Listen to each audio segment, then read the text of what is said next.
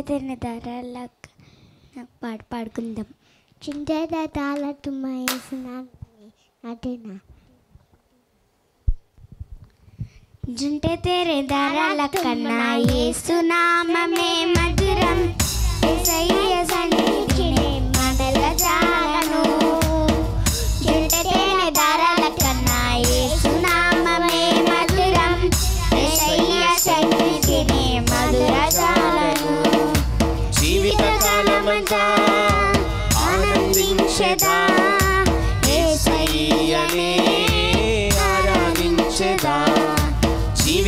కాలమంతా ఆనందించెదా?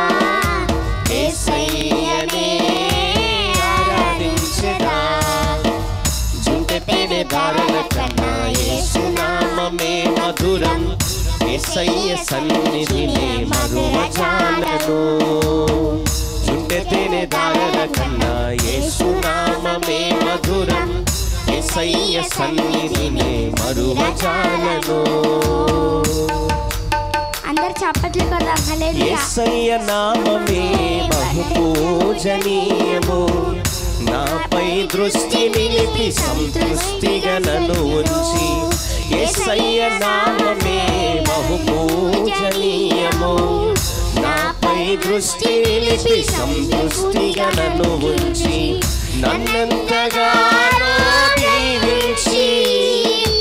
జీవజలపు ఉజ్జీవింపచేసెనే నన్నంతగానో కైవించి జీవజలపు ఊటలతో ఉజ్జీవింపచేసెనే జుంటె తేనె ధారల కన్నా యేసునామమే మధురం.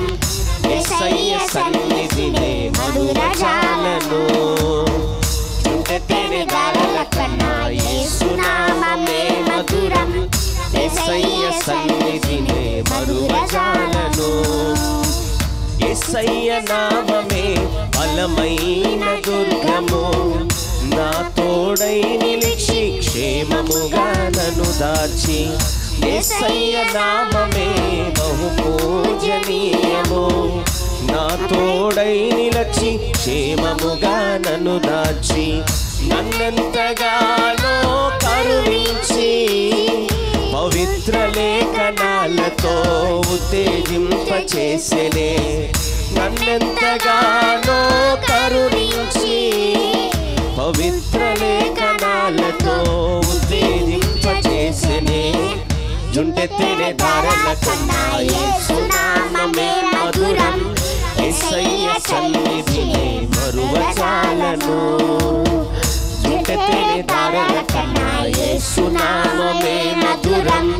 యేసయ్య సన్నిధినే మరువచాలను జీవిత కాలమంతా ఆనందించేదా ఆరాధించేదా? జీవిత కాలమంతా ఆనందించేదా?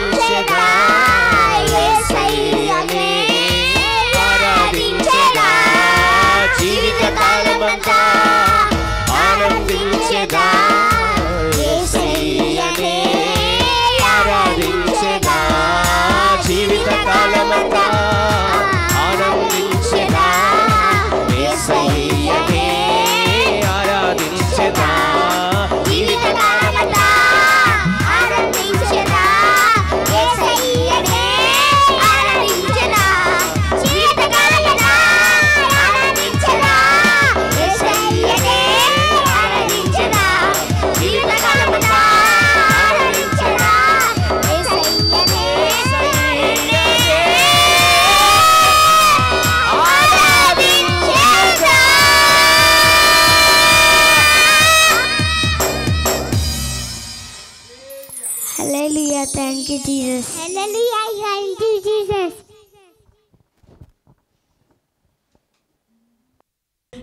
ప్రేమలో నుండి నన్ను ఎడబాపు వారెవరు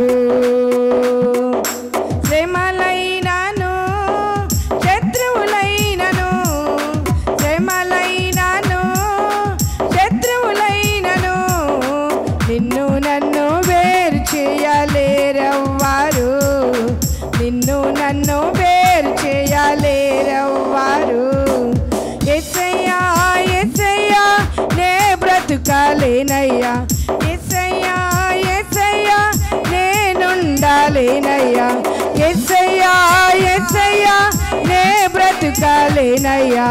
ఎస్సయ్యా ఎస్సయ్యా నేనుండాలేనయ్యా. నీ ప్రేమలో నుండి నన్ను ఎడబాపు వారెవరు? నీ ప్రేమలో నుండి నన్ను ఎడబాపు వారెవరు?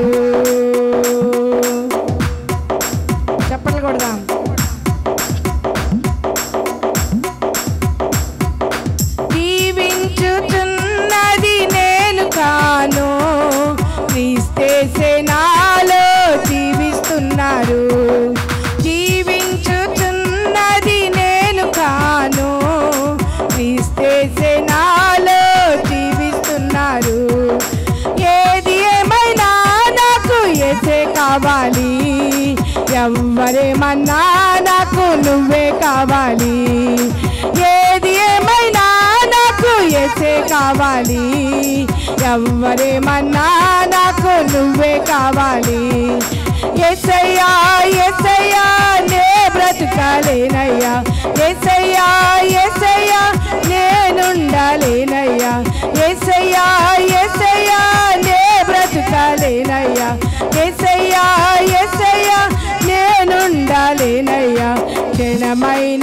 నీవు లేక నేనుండాలేనయ్యా. క్షణమైన నీవు లేక నేనుండాలేనయ్యా. నీ ప్రేమలో నుండి నన్ను ఎడబాపు వారెవరు? నీ ప్రేమలో నుండి నన్ను ఎడబాపు వారెవరు?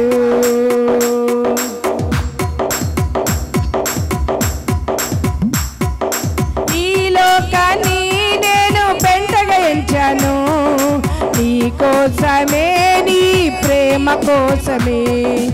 ఈ లోకాన్ని నేను పెంటగా ఎంచాను నీ కోసమే నీ ప్రేమ కోసమే.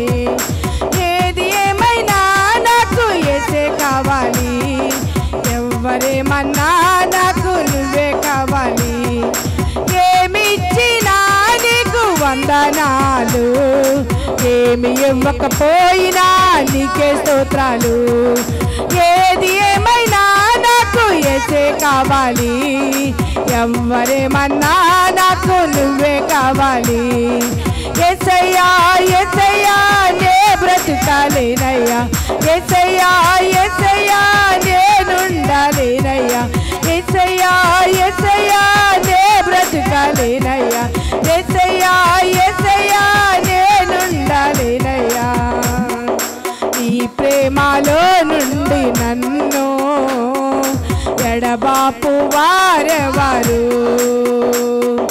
నీ ప్రేమలో నుండి నన్ను ఎడబాపు వారెవరు? శ్రమలైనను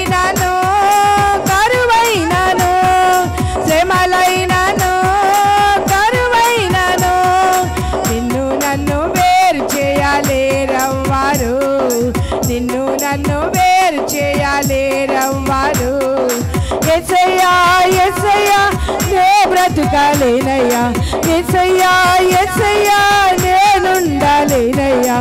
ఎసయ్యా ఎసయ్యా నే బ్రతకాలేనయ్యా. ఎసయ్యా ఎసయ్యా నేనుండాలేనయ్యా. క్షణమైన నీవు లేక బ్రతకాలేనయ్యా. క్షణమైన క్షణమైనా నీవు లేక నేనుండాలేనయ్యా. ఎసయ్యా ఎసయ్యా నే బ్రతకాలేనయ్యా. ఎసయ్యా ఎసయ్యా నే నేనుండాలేనయ్యా ఎసయ్యా ఎసయ్యా బ్రతకాలేనయ్యా. ఎసయ్యా ఎసయ్యా నేనుండాలేనయ్యా ఎసయ్యా ఎసయ్యా నే బ్రతకాలేనయ్యా.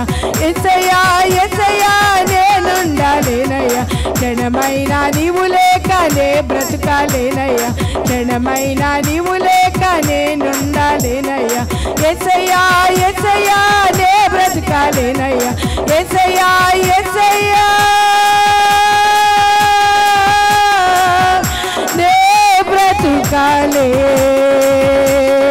నయ్యా. హల్లెలూయా. హల్లెలూయా.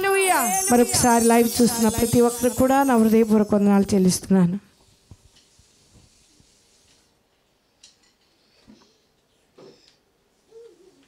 పాడండి రాని వారు నేర్చుకుంటూ పాడు పాడి ప్రభును కనపడతాం స్తోత్రం. తొలకరి వాన. దీవెనలు కురిపించు వాన.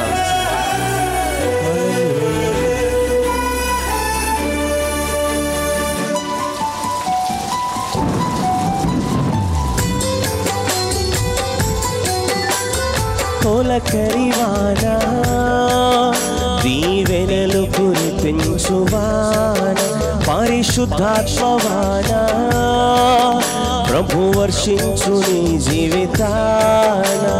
తొలకరివాడా? దీవెనలు కురిపించువాన పరిశుద్ధాత్మవాడా?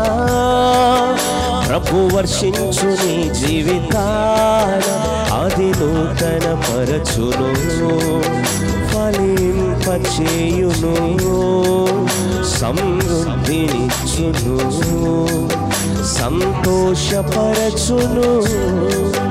అది నూతన పరచును ఫలింపచేయును.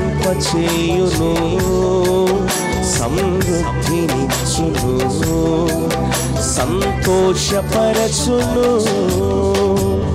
తొలకరివానా దీవెనలు కురిపించువా పరిశుద్ధాత్మవాడా ప్రభు వర్షించు నీ స్తోత్రం స్తోత్రం. చప్పట్లు కొడుతూ ప్రభు సన్నిధిలో మనం ఆనందిద్దాం.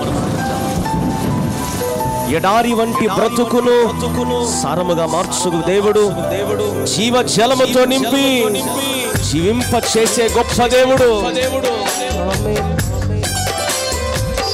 చప్పట్లు కొడుతూ పాడుతూ వేసే నామాన్ని గొప్ప చేద్దాం.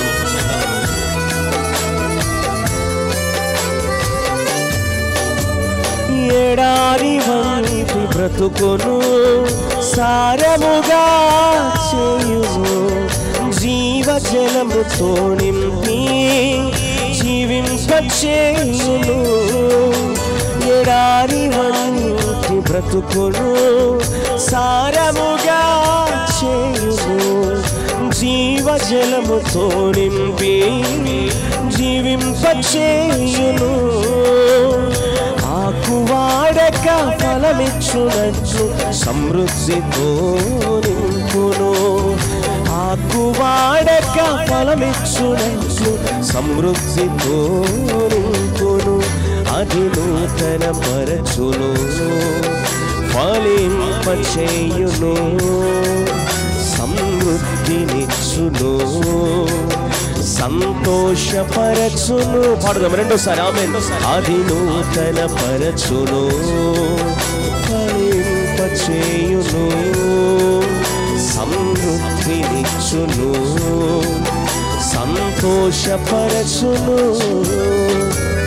తోలకరివాడా దీవెనలు కురిపించువాడ పరిశుద్ధాత్మవాడా ప్రభు వర్షించు నీ జీవితాన.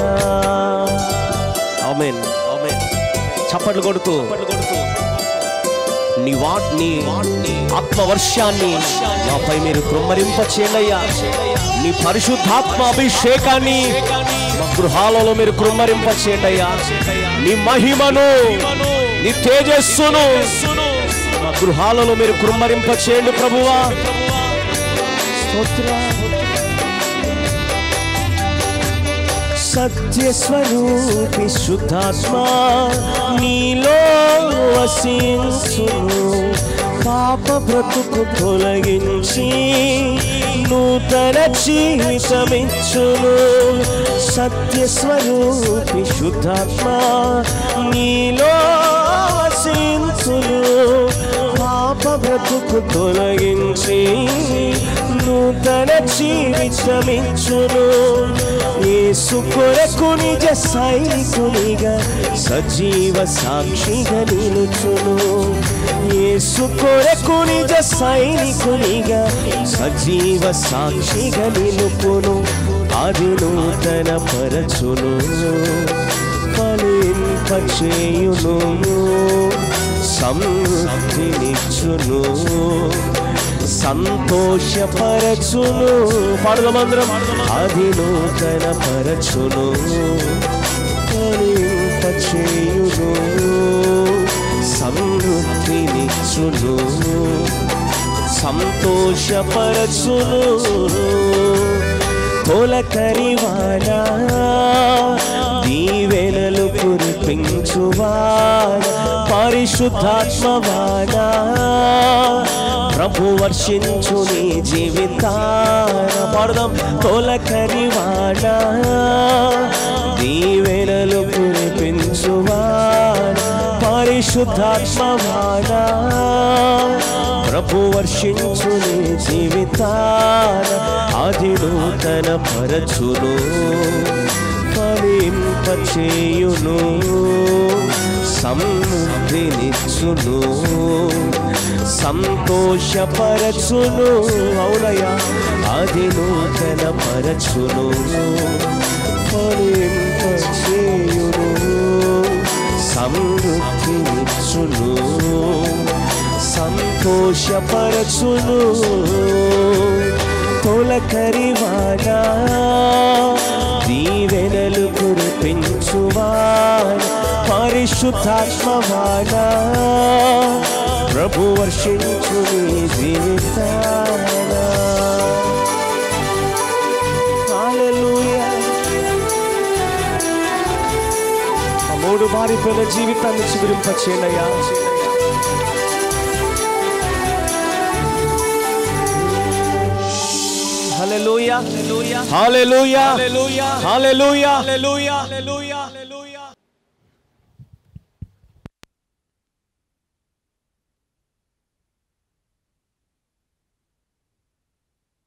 ఈరోజు మన ధ్యాన భాగముగా రాజుల మొదటి గ్రంథం పంతొమ్మిదవ అధ్యాయము. రాజుల మొదటి గ్రంథం పంతొమ్మిదవ అధ్యాయము. ఈ పంతొమ్మిదవ అధ్యాయంలో మనం పరిశీలిస్తే ఏలియా అనే ప్రవక్త మనకు కనిపిస్తాడు. ఈ ఏలియా అనే ప్రవక్త ఈయన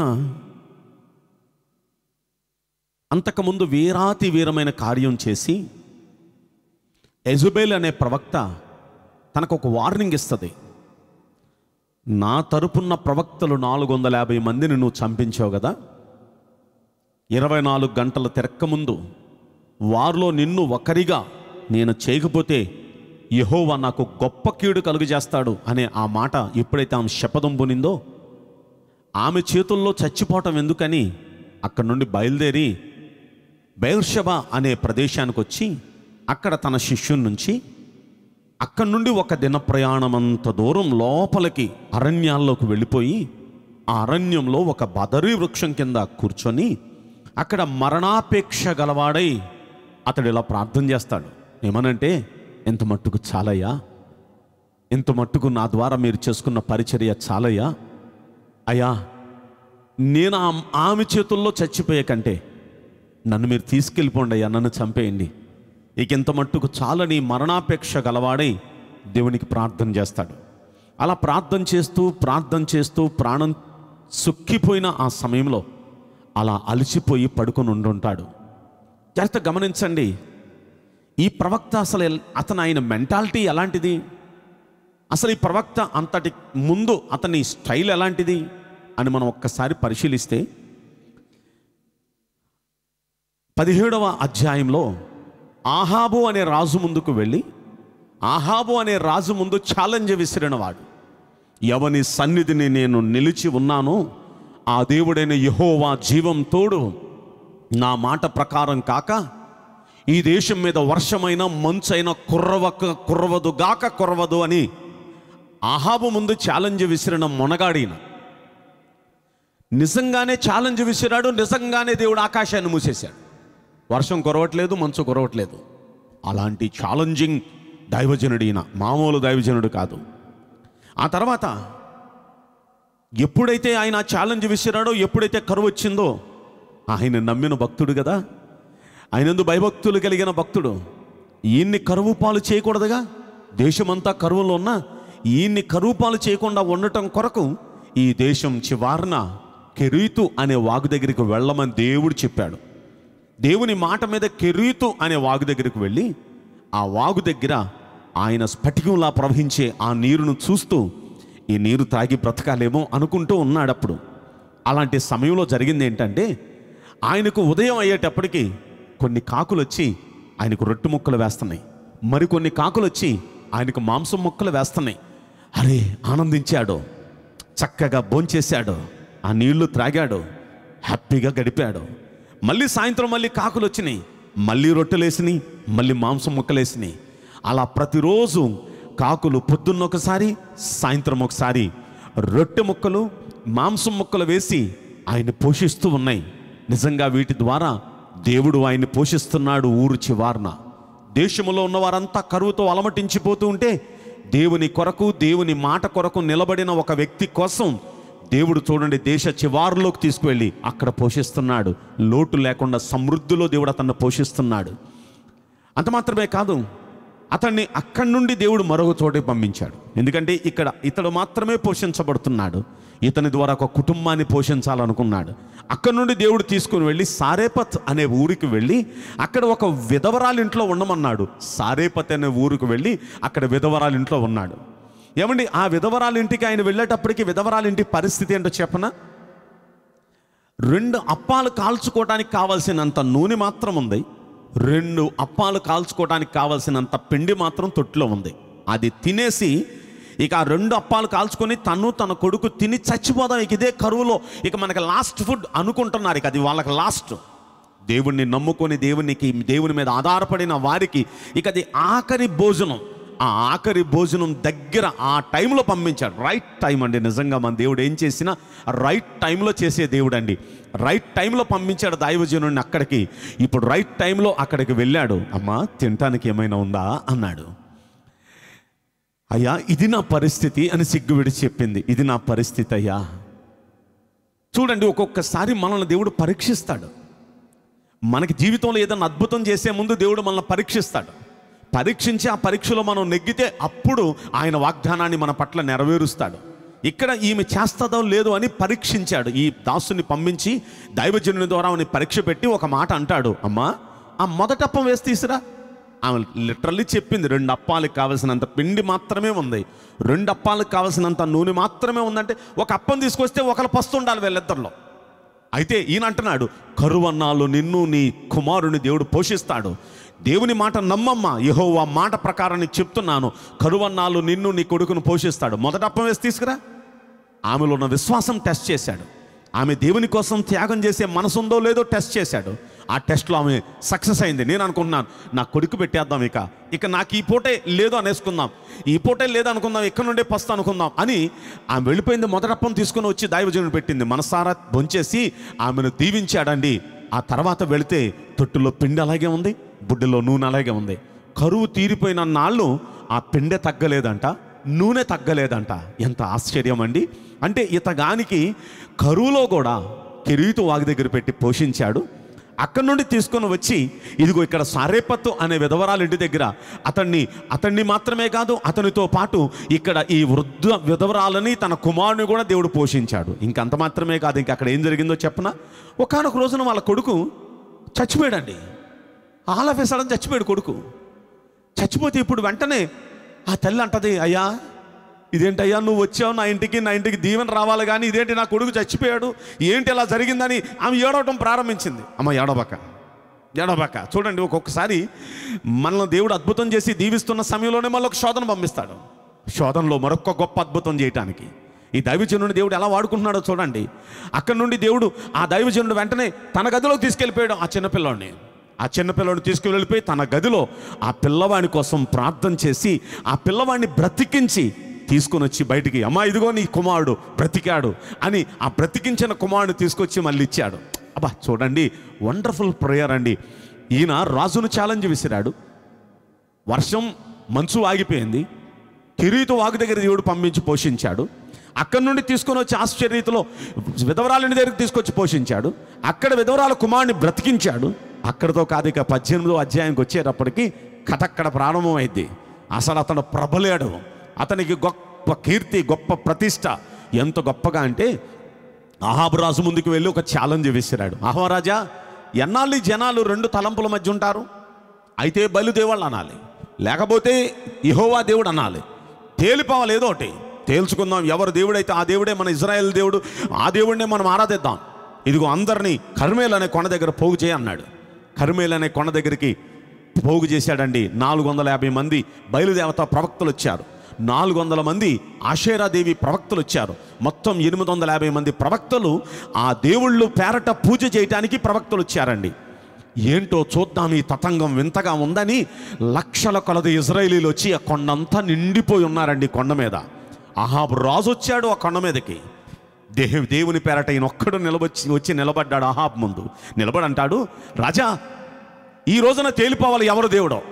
ఎవరో ఒక్క దేవుడే ఆరాధించబలాడు బైలా దేవుడు అషేర్ దేవా దేవత ఆమె ఆరాధించబడేది? లేకపోతే యహోవా దేవుడా? ఎవరో ఒక్కడు రెండు తలంపుల మధ్య ఉండొద్దు. ఇప్పుడు ఇస్రాయలీలు ఎంత కన్ఫ్యూజన్లో ఉన్నారు. ఎవరిని ఆరాధించాలో? కొంతమంది అటు కొంతమంది ఇటు కన్ఫ్యూజన్లో ఉన్నారు. ఒక్క తెగింపుకు రావాలి. జనం అందరిని చూడండి ఒక్క తెగింపుకు తీసుకొచ్చాడు. రోషం కలిగిన వాడండి. ఇప్పుడు ఇలాంటి పరిస్థితుల్లో అందరి ముందు నిలబడి ఛాలెంజ్ చేశాడు. ఏంటో చెప్ప ఏం చేద్దాం? రాజా రెండు ఎద్దులు తీసుకురండి. ఒక ఎద్దు మీరందరూ కలిసి ఒక ఎద్దు తీసుకోండి. నా ఒక్కడికి ఒక ఎద్దు ఇవ్వండి యెహోవా పేరట. మీరంతా ఒక ఎద్దుని తీసుకోమనండి. ఇప్పుడు ఎనిమిది వందల యాభై మంది ప్రవక్తలు కలిపి ఒక బలిపీఠం కట్టి ఆ బలిపీఠం మీద ఎద్దును వధించి ముక్కలు చేసి దాని మీద వేయాలి. ఇప్పుడు ఆ బలిపీఠం ముందు నిలబడి తమ దేవుళ్ళకు తమ దేవతలకు చేతులెత్తి వారు ప్రార్థన చేయాలి. నిప్పంటించకూడదు. వారు ప్రార్థన మాత్రం చేయాలి. వారు ప్రార్థన చేస్తూ ఉంటే వారి దేవుడే దేవుడైతే ఆకాశనుడి అగ్ని దిగివచ్చి ఆ బలి పశువును బలిపీఠాన్ని కాల్చి బుక్ చేసేయాలి. అలా ఒకవేళ మీ దేవుళ్ళు దేవతలు చేస్తే మనమందరము ఆ దేవుడే దేవుడని ఆరాధిద్దాం. ఆ దేవుడే అగ్ని కురిపించిన దేవుడే వర్షాన్ని కురిపిస్తాడు. ఆ దేవుడే దేవుడని మనం ఆరాధిద్దాం. కరువు త- తీరిపోద్ది. లేదు ఒకవేళ మీరు చేయలేకపోతే నేను చేస్తాను. ఈ దేవుడే దేవుడని మీరు ఒప్పుకుంటారా? అన్నాడు. ఓకే అన్నారు. ఇప్పుడు మొదట మీకే ఇస్తున్నాను ఛాన్స్ అన్నారు. ఇప్పుడు వాళ్ళు బలిపీఠం కట్టారు. ఆ బలిపీఠం మీద ఎద్దును వధించి దాని మీద ముక్కలు చేసి వేశారండి. నిలబడి చేతులు ఎత్తి ప్రార్థన చేస్తున్నారు. ఇహో బయలుదేవా దిగిరా ఆశీరాదేవి దిగిరా అంటూ దిగిరా దిగిరా అని వారు పూజలు చేస్తూ వారు ప్రార్థన చేస్తూ ఉన్నారండి. దాదాపు మధ్యాహ్నం మూడింటి వరకు వారు చేస్తూనే ఉన్నారు. ఏమీ దిగిరాలేదు.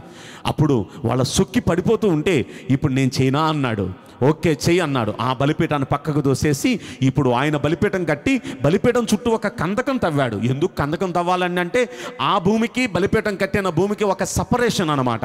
అది వేరు ఇది వేరు అన్నట్టుగా చుట్టూ ఒక కందకం లాంటిది తవ్వించేశాడు. ఇప్పుడు పన్నెండు తొట్లు నీళ్ళు తెప్పించుకున్నాడు. అంటే ట్రిప్పుకి నాలుగు తొట్లు. అలా మూడు ట్రిప్పులు. ఈ బలిపీఠం కట్టి బలిపీఠం మీద ఎద్దును వధించి ఎద్దును ముక్కలు చేసి దాని మీద వేశాడు. ఇప్పుడు నాలుగు తొట్లు నీళ్ళు పోయించాడు ముందు. ఇంకా అనిపించలేదు ఆయనకి. ఇంకో నాలుగు తొట్లు పోయింది అన్నాడు. ఇంకో నాలుగు తొట్లు పోశారు. ఇంకో నాలుగు తొట్లు పోయింది అన్నాడు. ఇంకో నాలుగు తొట్లు పోశారు. మొత్తం పన్నెండు తొట్లు నీళ్ళతో. ఇప్పుడు మొత్తం ముద్ద ముద్దగా నీళ్ళు నీళ్ళుగా ఉన్నాయి. ఇప్పుడు కందకం నీళ్ళతో నిండిపోయింది. అంత ముద్ద ముద్దగా ఉంది. ఈ సమయంలో ఈ బలిపీఠం ముందు ఈయన నిలబడి చేతులెత్తి ప్రార్థన చేస్తూ ఉన్నాడు. అయ్యా నీవే దేవుడవు. నీవే సకల జగత్తును సృష్టించిన దేవుడవు. నీ ఆధీనములోని సకల జగత్తు ఉంది. అయ్యా నువ్వు శాసించి పరిపాలించే దేవుడవని ఈ సకల ప్రజలు తెలుసుకుని తెలుసుకున్నట్లుగా దయచేసి మీరు దిగిరండి ఈ బలిని స్వీకరించండి అని చేతులెత్తి ఆయన ప్రార్థిస్తూ ఉండగా జరిగిన అద్భుతం ఏంటో చెప్పన? ఆకాశం నుండి ఈయన ఇంకా అలా ప్రార్థన చేస్తూనే ఉన్నాడు ప్రార్థన చేస్తూనే ఉన్నాడు యాంగ్జైటీగా జనం చూస్తూనే ఉన్నారు. ఆకాశం నుండి అగ్ని దిగిందండి. అగ్ని దిగటం బలి పశువును కాల్చి ఆ కింద కట్టెలను కాల్చి ఆ కింద నీళ్ళను కూడా ఆవిరి చేసి మొత్తం బుగ్గి బుగ్గై బూడిదైపోయిందండి క్షణాల్లో బూడిదైపోయింది. జనాలు చప్పట్లు కొడుతూ వారు కేకలు వేస్తున్నారు ఏమోనో చెప్పన? యహోవాయే దేవుడు యహోవాయే దేవుడు యహోవాయే దేవుడని మొత్తం కేకలు వేస్తూ దేవుణ్ణి ఘనపరుస్తున్నారండి లక్షల కొలది ప్రజలు. ఇప్పుడు ఈ సమయంలో ఆయన ఏం చేశారో తెలుసా? బయలుదేవత ప్రవక్తలు పట్టుకోండిరా ఆ నాలుగు వందల యాభై మంది అన్నారు. ఆ నాలుగు వందల యాభై మందిని పట్టుకున్నారు. ఒక్కొక్కరిని పట్టుకొని వధించేశాడండి. వీళ్ళే కదరా మీరే కదరా ఇజ్రాయేలీలందరినీ ఇదిగో యహోవా దేవుడి నుండి మార్గం తప్పించేసి వాళ్ళందరినీ కన్ఫ్యూజన్లో పెట్టి కరూపాలు అయిపోవడానికి సర్వనాశనం అయిపోవడానికి కారణం మీరే కదా అంటూ వాళ్ళందరినీ వధించేసి ఇప్పుడు ఆహాబుతో చెప్తున్నాడు కొండపోత వర్షం కురవబోతుంది.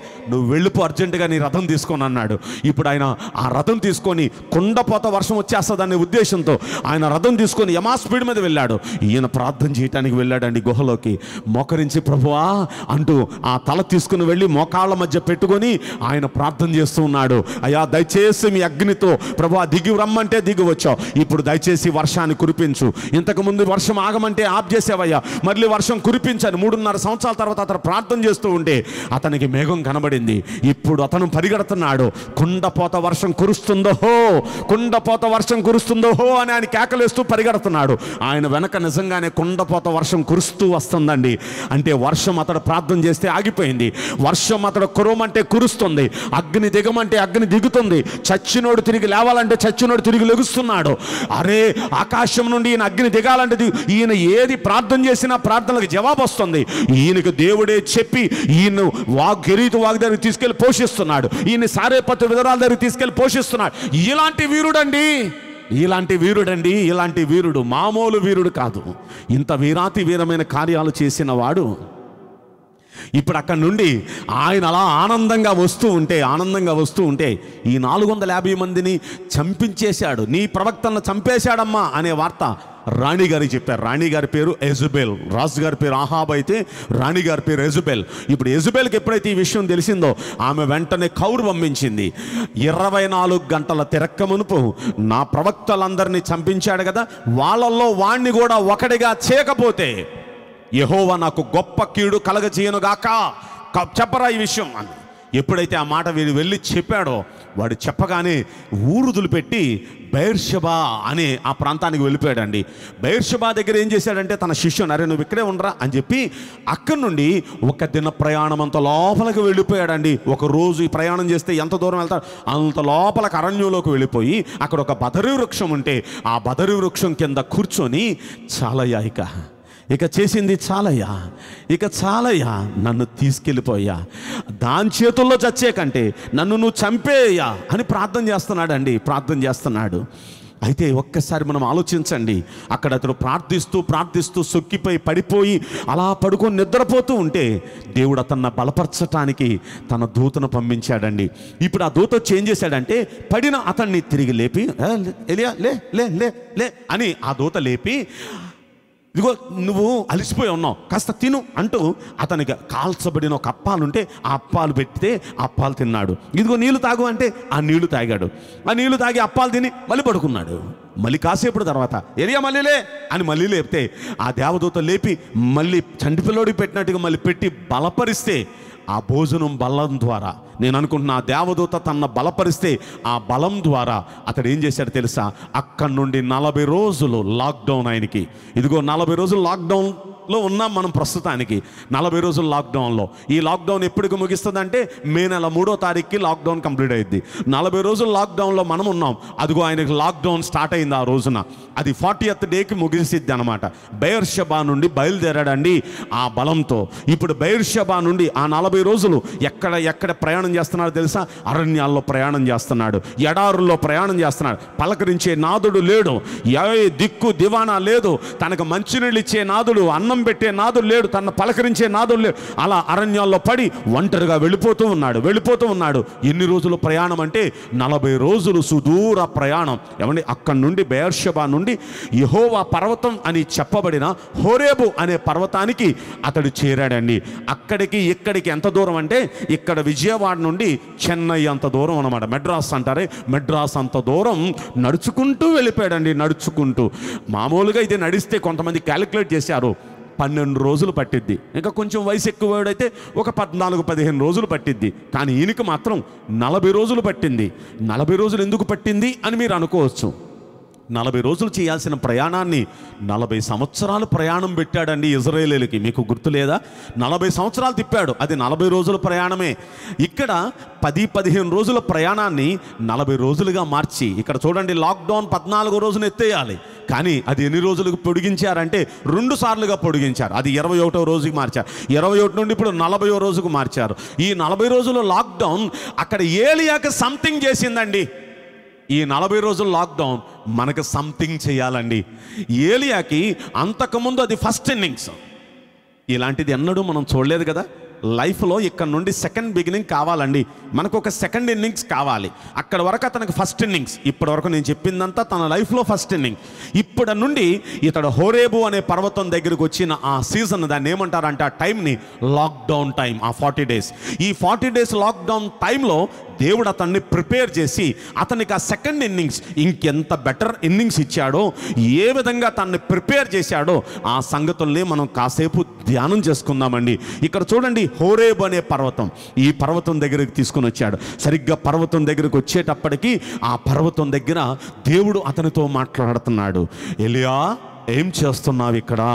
ఏం చేస్తున్నావు నువ్వు? చూడండి ఆ గుహ దగ్గరికి వచ్చేటప్పటికి తొమ్మిదో వచ్చిన యహోవా అతనికి ప్రత్యక్షమై ఎలియా ఇచ్చట నీవేం చేయుచున్నావు? అని అడిగాడండి. అడిగేటప్పటికి అతడు పదవచ్చులను అంటున్నాడు ఇజ్రాయేలు వారు నీ నిబంధన త్రోసివేసి నీ బలిపీఠములను పడగొట్టి నీ ప్రవక్తలను ఖడ్గము చేత హతము చేసి హతము చేసి సైన్యములకు అధిపతియగు ఈ దేవుడగు యహోవా కొరకు మహా రోషము గలవాడని నేను ఒక్కడను మాత్రమే మిగిలి ఉండగా వారు నా ప్రాణమును కూడా తీసివేయుటకై చూచుచున్నారని మనవి చేశాను. చూడండి చూడండి అహోరేబు పర్వతం దగ్గర ఇతగాన్ని ఈ ప్రశ్న అడిగాడని ఎప్పుడైతే అడిగాడో అతడు ఈ మాట అన్నాడండి. ఈ మాట అనేటప్పటికి దేవుడు అతనితో చెప్పిన మాట. మీకు అర్థమయ్యేటట్టు చెప్తాను. ఇక్కడ గ్రాంధికంగా ఉంది. ఇది మీకు అర్థమయ్యే శైలిలో చెప్తాను. ఏం చేస్తున్నావయ్యా ఇక్కడ? ఎలియా అన్నాడు. ఏం చేయటం ఏంటయ్యా? అయ్యా నీ ప్రజలు నీ నీ ప్రజలు ఏం చేస్తున్నారంటే వాళ్ళంతా అయ్యా బయలుదేవుల్ని ఆ ప్రవక్తల్ని వారు పూజిస్తున్నారయ్యా. నీ బలిపీఠాన్ని పడగొట్టేశారయ్యా. బయలుదేవతలను పూజిస్తున్నారు. వాళ్ళు కన్ఫ్యూజన్లో ఉన్నారు. నీ పేరట నీకు మృక్కి నిన్ను పూజించటానికి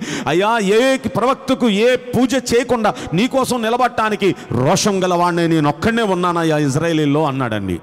అంటే చూడండి చూడండి తనలో ఒక విధమైన ప్రౌడ్నెస్ నేను ఒక్కడనే ఉన్నాను దేవుని కోసం. ఇంకెవరు లేరు అని. నేను ఒక్కడనే ఉన్నాను. ఒక సంథింగ్ ప్రౌడ్నెస్ అనమాట ఏమండి ఇక్కడికి వచ్చిన తర్వాత ఎంత లాక్డౌన్లో ఉన్న సర్వ తర్వాత కూడా అతనిలో అది పోలేదండి. నేను అనే తత్వం పోలేదండి.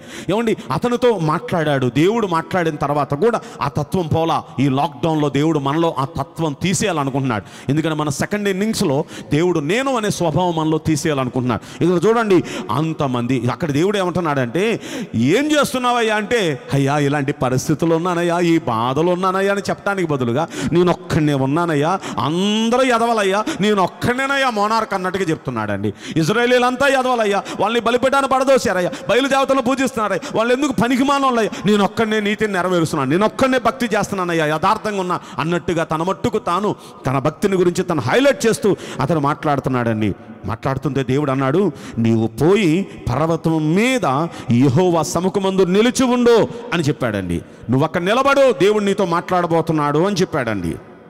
ఎప్పుడే చెప్పాడో అలా కొండ పైకి వెళ్ళి అక్కడ నిలబడి దేవుని కోసం ఎదురు చూస్తున్నాడు. దేవుని మాట కోసం ఎదురు చూస్తున్నాడు. ఇలా ఎదురు చూపులు చూస్తున్న సమయంలో అతనికి ఏం జరిగిందో చెప్పన? బలమైన పెనుగాలు ఒకటి వచ్చిందండి. ఆ పెనుగాలు యహో ఆ భయముతో ఏమైందంటే పర్వతాలు బద్దలైపోయినాయండి ఏకంగా. పర్వతాలు బద్దలైపోయి చిన్న భిన్నం అయిపోయిందండి. మీరు ఆ వచనాలు కింద మీరు చదువుకోవచ్చండి. ఇవన్నీ పదకొండు వచనంలో నేను చదువుతున్నాను. ఎప్పుడైతే చిన్న భిన్నం అయిపోయినాయి పెనుగాలు వచ్చేసింది అది భయంకరమైన పెనుగాలు బలమైన పెనుగాలి. ఆ పెనుగాలికి పర్వతం బద్దలైపోయింది ఏకంగా. ఆ బలమైన పెనుగాలికి అంత చిన్న భిన్నం అయిపోయిన ఆ పరిస్థితుల్లో దేవుడు ఈయనతో మాట్లాడతాడు ఈయనకు ప్రత్యక్షమవుతాడని ఈయన భయంతో భయంతో చూస్తున్నాడు. అమ్మో ఏంటి ఇదంతా?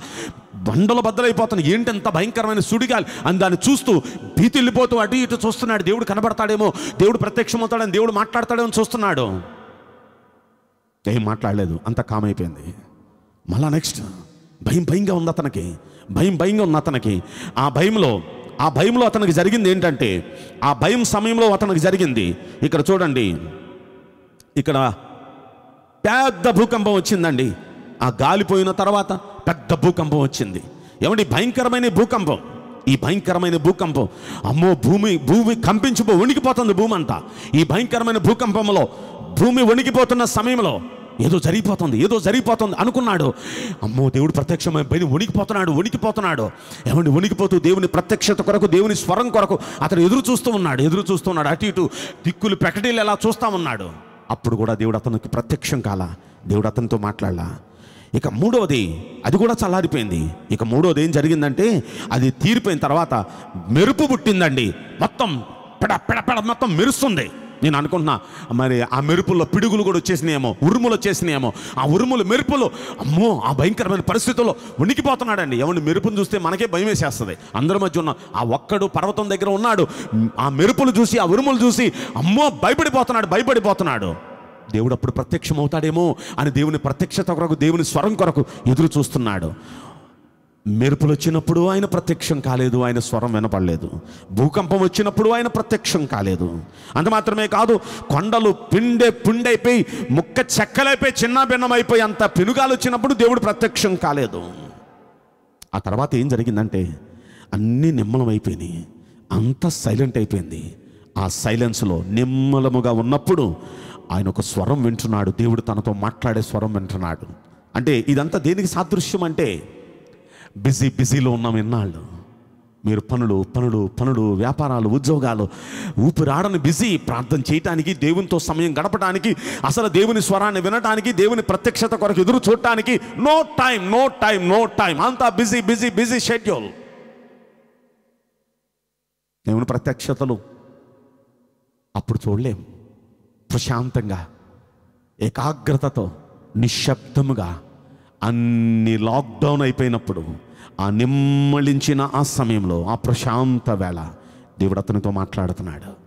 మనం ఎప్పుడైతే దేవునితో ఏకాంతంగా నిమ్మళమైన పరిస్థితులలో దేవుని సన్నిధిలో ప్రశాంతంగా ఆయనతో సమయం ఏకాంతంగా మనం గడుపుతామో ఆ సమయంలో దేవుని ప్రత్యక్షతను చూడగలుగుతాం. దేవుని స్వరాన్ని మనం వినగలుగుతాం.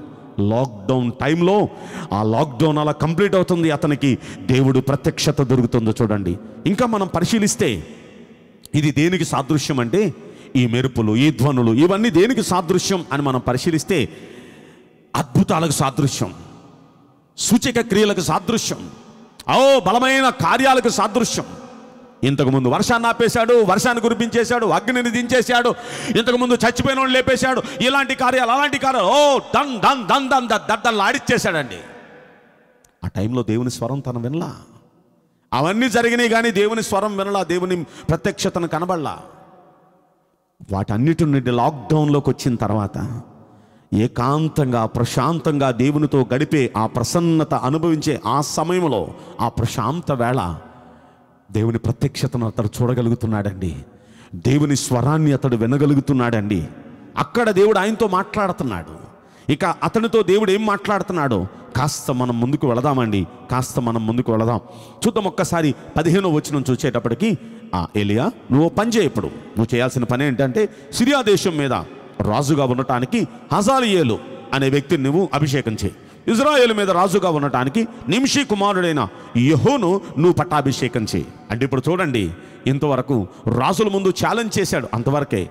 కానీ ఇప్పుడు రాజులను నియమించటానికి రాజులుగా అభిషేకం చేయటానికి దేవుడు ఇతను సెకండ్ ఇన్నింగ్స్లో ప్రమోట్ చేశాడండి. సెకండ్ ఇన్నింగ్స్లో ఇతని లైఫ్ను ప్రమోట్ చేసి పై లెవెల్ ఆఫ్ ది స్పిరిచువల్ లెవెల్కి తీసుకుని వెళ్ళాడండి. అంటే ఆధ్యాత్మికంగా పై లెవెల్కి అతను తీసుకుని వెళ్ళి ఏ పై లెవెల్ అంటే రాజులను రాజుగా అభిషేకించే లెవెల్కి దేవుడు ఆయన్ని ప్రమోట్ చేశాడు. ఏమండి రాజుగా అభిషేకం చేయడం మాత్రమే కాదు నీ తర్వాత నీ కార్యక్రమాల్ని పొడిగించి నీ తర్వాత ఈ కార్యక్రమాల్ని నిర్వర్తించటానికి అయ్యా నీకు మారుగా ప్రవక్తగా ఉండటానికి ఇదిగో ఎలీషాని అభిషేకం చేయి అన్నాడు.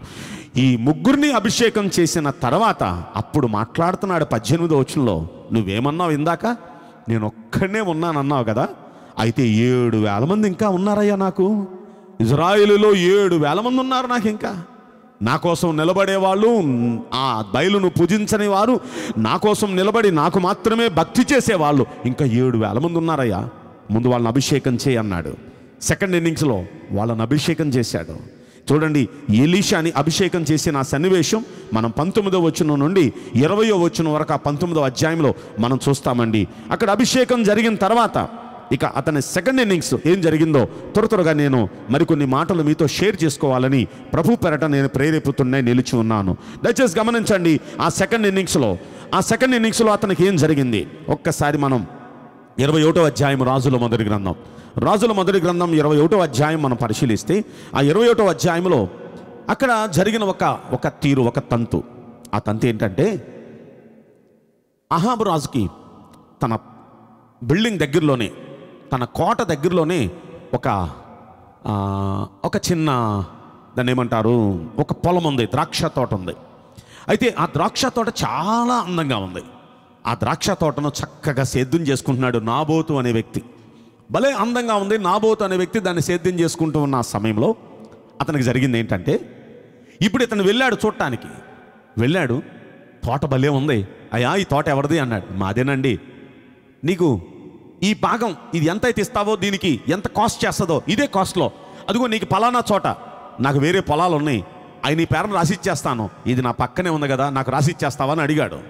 అయ్యా ఇది నేను కొనుక్కున్నదైతే మీకు అలాగే చేసేవాడిని మా పూర్వీకులు కానుండి వాళ్ళు కాపాడుకుంటూ వస్తున్నారు. ఇప్పుడు నా దగ్గరికి వచ్చింది. నేను కాపాడుకుంటూ నా పిల్లలకి ఇవ్వాలి. ఇది పూర్వీకులు కానుండి నిలబెట్టుకుంటున్నానయ్యా. ఇది ఇప్పుడు ఇచ్చేస్తే అయ్యా నేను తప్పినుండి అవుతాను. దయచేసి ఏమనుకోద్దయ్యా అని దండం పెట్టి అడిగాడు. అలా కాదు నాకు ఇస్తావా చస్తావా? అని చాలా బతులాడాడు ఎంత బతులాడయ్యా ఏ నన్ను అడగబాకండి అయ్యా. ప్లీజ్ అయ్యా దండం పెట్టాడు. ఇంటికి వెళ్ళిపోయి మూతి ముడుచుకొని మూల కూర్చున్నాడండి. భోజనం కూడా చేయకుండా.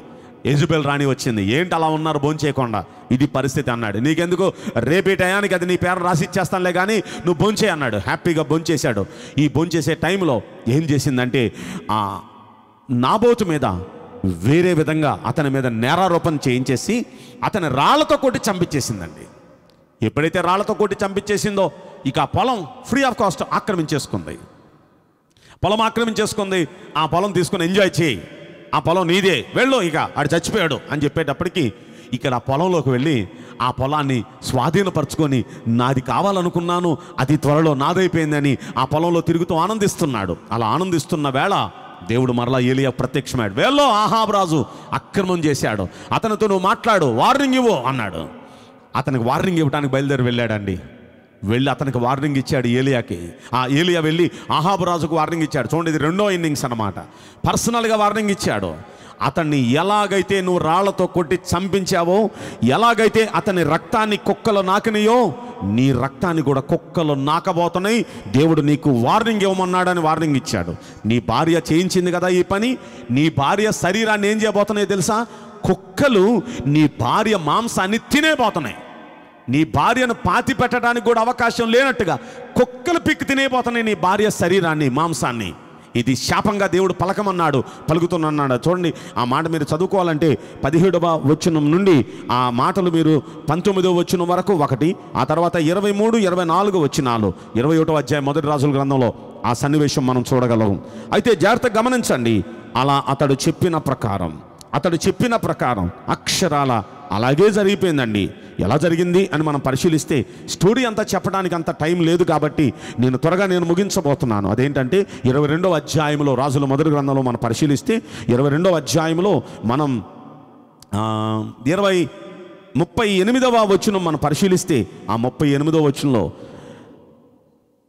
షోమ్రోను కొలనులో ఆ రథాన్ని కడుగుతున్నప్పుడు అంటే రథం మీద అతడు వెళ్ళి యుద్ధం చేస్తే అతన్ని చంపేస్తారు. అతని రక్తం మొత్తం ఆ రథం మీద అలా పడి ఆ రక్తంతో తడిసిపోయింది ఆ రథం అంతా. రథం తీసుకెళ్ళి కొలంలో కడుగుతూ ఉన్న సమయంలో ఆ రక్తం కారుతూ ఉంటే కుక్కలు వచ్చి ఆ రక్తాన్ని నాకని అంటండి. ఇది ఆహాబుకు చెప్పిన మాట ప్రకారం ఏలియా చెప్పిన మాట ప్రకారం అక్కడ జరిగింది. మరి యజుబేలు మాంసాన్ని ఎలా తిన్నాయి? కుక్కలు ఎలా తిన్నాయి? అది కూడా రాజుల రెండవ గ్రంథంలో మనం పరిశీలిస్తే రాజుల రెండవ గ్రంథంలో తొమ్మిదవ అధ్యాయాన్ని మనం పరిశీలిస్తే తొమ్మిదవ అధ్యాయంలో ముప్పై మూడవ వచనం కానుండి అక్కడ మనం చూస్తాం. ఎవరి ద్వారా ఇది జరిగిందంటే యహూ అనే వ్యక్తిని రాజుగా అభిషేకం చేయమన్నాడు కదా?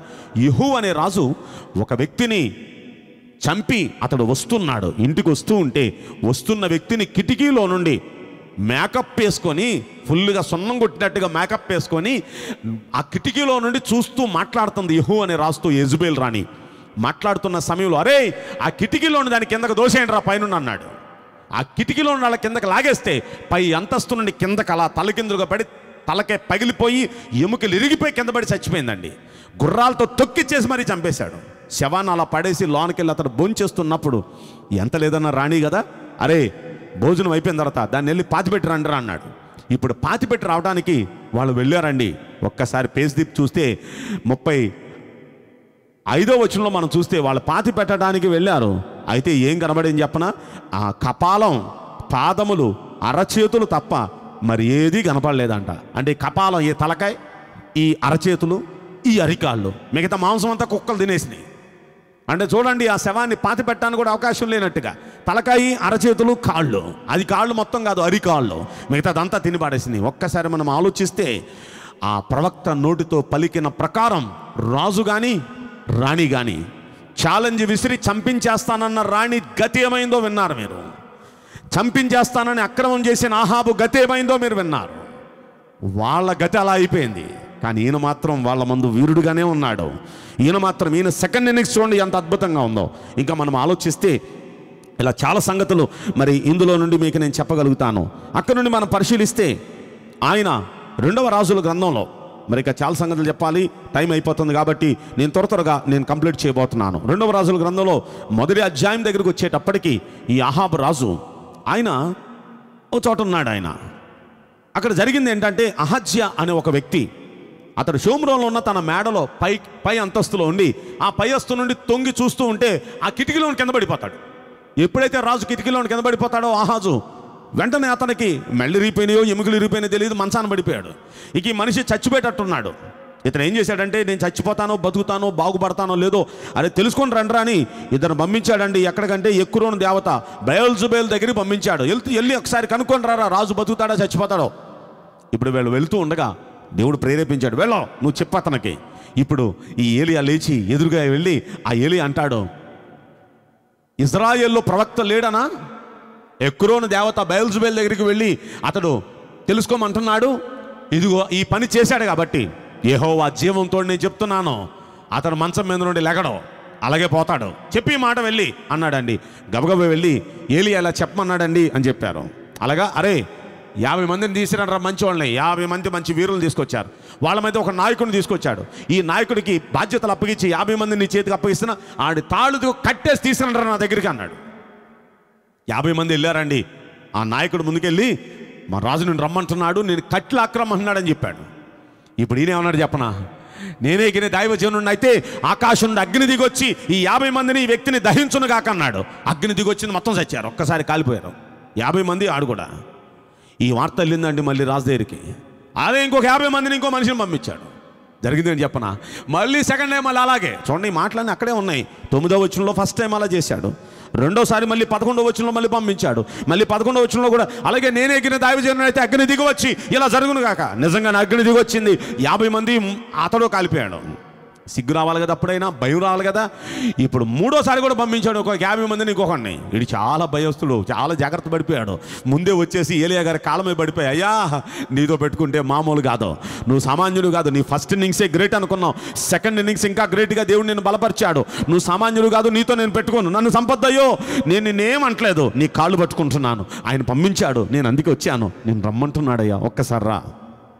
ఇప్పుడు ఈయన అన్నాడు అయ్యా ఏం చేయమంటారు? నేనున్నాను బయలుదేరి వెళ్ళు ఏం పర్లేదు. దేవుడు వెళ్ళమంటే బయలుదేరి వెళ్ళాడండి. అక్కడికి వెళ్ళాడు.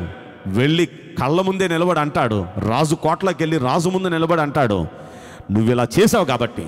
ఇజ్రాయెల్లో దేవుడు లేడు అనుకొని నువ్వు ఆ ప్రాంతానికి ఇది ఎక్రోను దేవత బయల్జబేల్ దగ్గరికి వెళ్ళి నువ్వు విషయం తెలుసుకోవాలని నువ్వు ప్రయత్నం చేసావు కదా? మంచం దిగవు నువ్వు చచ్చిపోతావు అన్నాడు. స్పాట్ చచ్చిపోయాడు అంతే. తీసుకెళ్ళి పాత పెట్టేశారు ఒకసారి ఆలోచించండి. అతడు ఏం పలికితే అలా జరిగింది. ఇలా ఒకటి కాదు రెండు కాదు ఆకాశం నుండి అగ్ని దిగాలంటే ఆకాశం నుండి మళ్ళీ అగ్ని దిగింది. ఏమండి ఇతను ఇంకా బయలుదేరి వెళుతున్నాడు. బయలుదేరి వెళుతుంటే ఇక దేవుడు అన్నాడు అయ్యా నేను నేను నీకు ఈ భూమి మీద చేయాల్సిన కార్యాలన్నీ నీతో చేయించుకున్నాను. నీకు మరణం అనేది లేదు ఇక. మరణం లేకుండా నేను నాతో పాటు తీసుకెళ్ళిపోవాలనుకుంటున్నాను. నువ్వు నాతో పాటు నా రాజ్యంలో సదాకాలం ఉండబోతున్నావు. మరణం లేకుండా నేను తీసుకెళ్ళిపోవాలనుకుంటున్నాను. వచ్చేసేయి. వచ్చేసేయి బాధ్యతలు అనేది వాడికి ఆల్రెడీ అభిషేకించావు కదా ఆడికి ఇచ్చేసి బాధ్యతలు వచ్చేసేయి అన్నాడు. ఇప్పుడు సెకండ్ ఇన్నింగ్స్లో చాలా కార్యాలు చేసి అక్కడి నుండి ఇతడు బయలుదేరి దేవుడు రమ్మంటున్నాడు వెళ్ళిపోదామని రెండో అధ్యాయంలో బయలుదేరాడు. ఇప్పుడు ఎలిషా అంటున్నాడు యెహోవా జీవంతోడు నీ జీవంతోడు అయ్యా నిన్ను విడిచిపెట్టమనే మాట తప్ప మరేదైనా చెప్పు చేస్తా. నిన్ను మాత్రం విడిచిపెట్టలేనని అన్నాడు. సరే ఆ మాటకి. సరేరా అని చెప్పి అక్కడి నుండి అలా రెండు మూడు మజిలీలు అలా తీసుకుని వెళ్ళాడు. గిల్గాల నుండి అతన్ని బేతేలుకి తీసుకెళ్ళాడు బేతేలు నుండి ఎరుకో తీసుకువెళ్ళాడు. ఎరుకో నుండి అతడు యోర్దానికి వచ్చాడు. ఏమండి? ఇప్పుడు యోర్ధాను దాటాలి. యోర్ధాను దాటాలంటే ఏం చేశాడు తెలుసా? తన పైన ఒక షాల్ అంటారే ఆ షాల్ అలా తీశాడు గొంగలే. గొంగల అలా తీసి యహోవా జీవంతోడు నేనే దైవజనుడినైతే నువ్వు నా పక్షాన్ని ఉంటే ఇది రెండుగా చీలిపోద్దని అలా కొట్టాడండి యోర్ధాన్ నదిని. రెండుగా జీలిపోయింది దారి ఏర్పడింది. దారిలో అవతలకి వెళ్ళిపోయాడండి. నడుచుకుంటూ అవతలకి వెళ్ళిపోయాడు అవాక్ అయిపోయాడండి ఇక్కడ ఎలీషా వెనకాల. నడుచుకుంటూ ఇతడు కూడా వెళ్ళిపోయాడు. అతడు అలా నడుచుకుంటూ వెళుతుంటే అర్థమైపోయింది ఇక ఇతను వెళ్ళిపోతాడని. నిజంగా దేవుడు ఈ ఎలీషా ఏలియా సెకండ్ ఇన్నింగ్స్ అతడు లాక్డౌన్ తర్వాత అతని సెకండ్ ఇన్నింగ్స్ని ఎంత బ్రహ్మాండంగా దేవుడు అతన్ని బలపరిచి వాడుకున్నాడో మరి ఒకటి కాదు రెండు కాదు చాలా సంగతులు. ద గ్రేటెస్ట్ లీడర్గా దేవుడు అతన్ని బలపరిచి వాడుకున్నాడు. అక్కడ అతన్ని వెళుతూ నడుస్తూ ఉండగా నడుస్తూ ఉండగా ఇక వెళ్ళిపోయే టైం ఆసన్నమైంది. ఎలిషా ఇంత శ్రద్ధగా నువ్వు నన్ను వెంబడిస్తూ ఉన్నావు. ఇంత శ్రద్ధగా తగ్గించుకొని భక్తి చేస్తున్నావు. నేను నీకు ఏం చేయాలని కోరుకుంటున్నావయ్యా అని అడిగాడు. ఏం చేయాలని కోరుకుంటున్నావు అని అడిగాడు. అప్పుడు ఆయన అన్నాడు ఏం లేదయ్యని నేను వెంబడించానయ్యా. అన్నీ వదిలేసే నేను నిన్ను వెంబడించాను కదా. నాకు కావాల్సింది ఏంటో చెప్పనా నిజంగా? నీకు కలిగిన ఆత్మకు రెండు పాళ్ళ ఆత్మ నాకు కావాలి అని అడిగాడు. అయ్యా అది నేను ఇచ్చేది కాదు. అది దేవుడు ఇవ్వాలి. నేను ఇచ్చేది ఏం కోరుకో? నాకు ఇంకేం అక్కర్లేదు అయ్యా అదే కావాలి. అయితే నేను ఎత్తబడే సమయంలో నేను ఎత్తబడతానన్న సంగతి నీకు తెలుసు కదా? ఎత్తబడే సమయంలో నేను కనబడితే అది నీకు అనుగ్రహిస్తాడు దేవుడు అని చెప్పి అతడు అంటూనే ఉన్నాడు. ఈ లోపల సుడిగాలు వచ్చింది. గుర్రం తిప్పుకుండి తీసుకెళ్ళిపోతుందండి ఈ మనిషిని. అలా చూస్తూనే ఉన్నాడు. సుడిగాలు అలా పైకి వెళ్ళిపోయాడండి. పైకి వెళ్ళిపోయిన అతగాడు అగ్ని రథాలు గుర్రాలు వచ్చినాయండి.